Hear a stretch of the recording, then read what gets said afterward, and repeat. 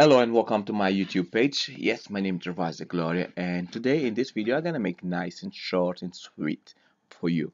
Well, basically that's one of my YouTube channel and previous video I made how people are finding so where your where the traffic can come to your way, to your YouTube page. And now in this video I am going to share with you which device are they using to watch your YouTube video? If you don't know how to get here the first thing that you're gonna need to do of course you're gonna click on your icon on the right side where you get to see your name and then you create a click on the Creator Studio. I'm gonna take you step by step so that you get to know exactly where to get there. And then when you create on click on Creator Studio you're gonna get here as you can see on your dashboard and then you're going to create go to analytics. And from analytics you are going to be able to from analytic and then you're going to be able to see most of the information that maybe you need. If you're not using this information I would recommend that you start using it because the reason that you want to use this information it will provide you the right information to target the type of video that you want to do that's one.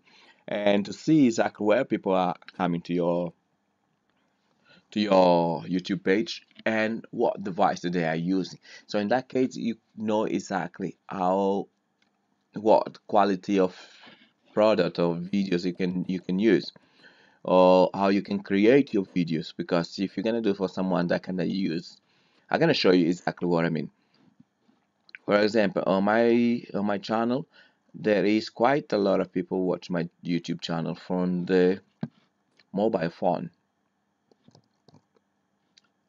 As you can know actually a lot more watching from the computer. And then quite the other percentage of people watching from the mobile phone the rest from the tablet and TV and game console.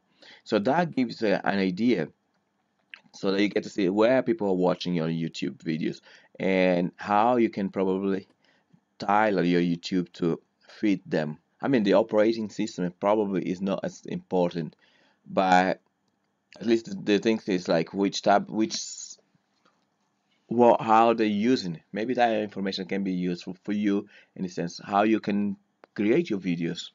Yes and then you can just when you talk you can just as you're watching on your mobile phone this is that that that's what's gonna happen.